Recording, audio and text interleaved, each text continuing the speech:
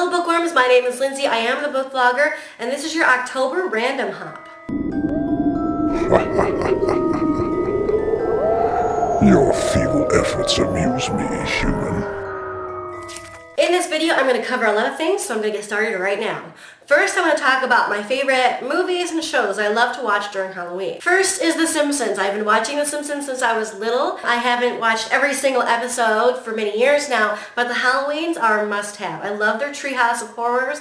I've started watching the first one, and I'm hoping to watch all of them this month. They're not too scary, they're not gory, not really anyway and I can watch them and not be scared afterwards and I just still get the Halloween theme. Next is Sleepy Hollow by Tim Burton. I am a huge fan of The Legend of Sleepy Hollow. I've seen the play many, many times. Not in many years, actually, but when I was younger, I'd seen it many, many times. I've seen many versions of the movie. It's another one of those things where it's scary, but it's not so scary that I'm terrified for weeks and I'm afraid something's going to get me from underneath the bed. I don't like that kind of scary. This is an interesting kind of scary. It gives me just enough thrill without going too far. It's also not really disturbing either. I don't like disturbing. I realized too that I, I don't think I've ever read the short story, The Legend of Sleepy Hollow by Washington Irving. Maybe when I was in school I might have, but it's been so long that I'm not even sure if I read it. So I think I might do that this month. Because I've seen all the movies and the plays, I might as well read the short story if I haven't yet. I kind of feel like, shame on me, why didn't I read that? My next favorite Halloween movie is Dawn of the Dead. I'm a huge zombie fan. No, I have not seen every zombie movie and I have not read every zombie book, but I'm always attracted to that genre and I love zombies. Same thing, it's thrilling and not so much terrifying. And for me, I think Dawn of the Dead is the first zombie movie I've ever seen, and I love the survival. They're just everyday people trying to survive this zombie apocalypse, and it was kind of the inspiration for a zombie series that I'm working on myself, that in a perfect world, the first book will be released next October, but this isn't a perfect world, so I wouldn't hold on to that. I also like to watch lots of movies about witches, like I like The Craft, Hocus Pocus, I love those kind of movies. They're enjoyable and fun and Halloweenish, but not too much. I also love to watch all of the sitcoms. Like they go out and they find every old sitcom like Tool Time or Home Improvement that's ever done a Halloween special. They start playing them and they're family friendly and they're fun and I enjoy to watch them. Um, even the new ones start doing Halloween specials so I always look those up. That's what I like to watch around Halloween. I'm also a big fan of Edgar Allan Poe. No, I have not sat down and read his poems from beginning to end. I've read snippets, but mostly I've seen the plays. Um, I've seen many of them throughout my life, and I've seen them redone on Simpsons and stuff like that too.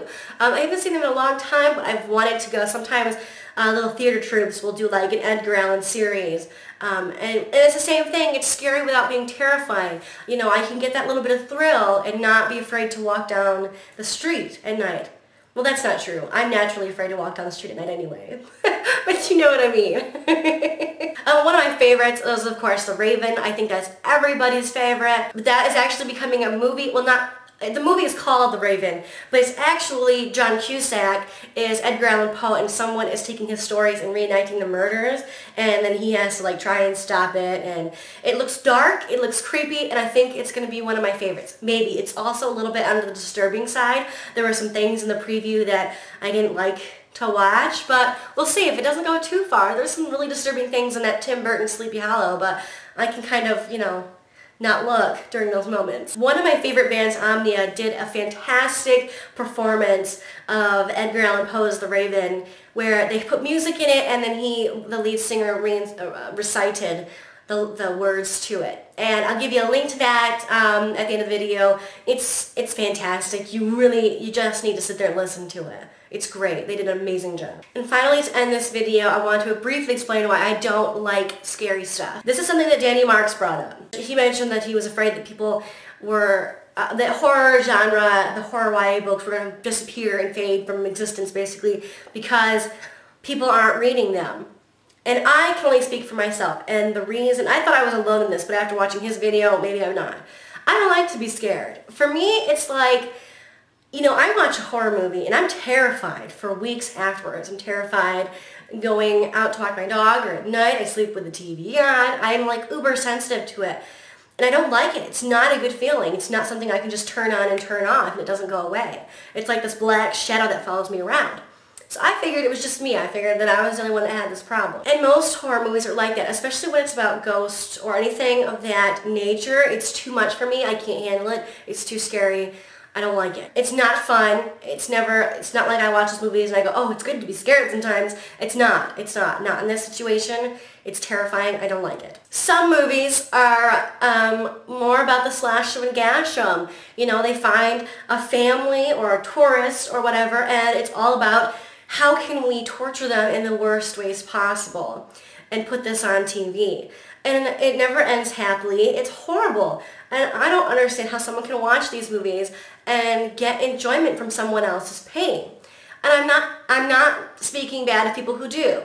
I just don't understand it. I don't I don't get it at all. Um, and the worst part is that this is not like a ghost story. You know, a ghost story uh, presumably is fiction um, and never has never really happened. But these slash and gash movies, this stuff has happened. People have been tortured in these ways, and I don't see any enjoyment from it. I don't get entertainment from it. Um, so I can't watch those. You know, I don't get enjoyment from people suffering. So that's my take. That's why I can't enjoy scary horror movies. I don't get any satisfaction from it whatsoever, which is why I stay towards the lighter side of Halloween, you know, the not the kind of scary but not too scary kind of thing. That's that's me and I'm not dogging it. I'm just saying this is the way I am. I can't change it. I don't have any desire to change it. And now I've said my piece. So happy Halloween to everybody. Uh, make sure you have a good and safe Halloween this year. And until next time, happy reading. The Raven by Edgar Allan Poe.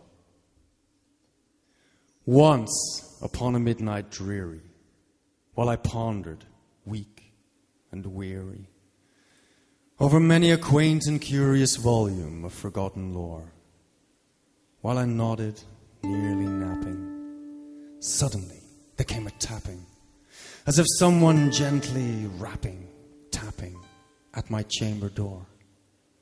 To some visitor, I muttered, tapping at my chamber door. Merely this, and nothing more.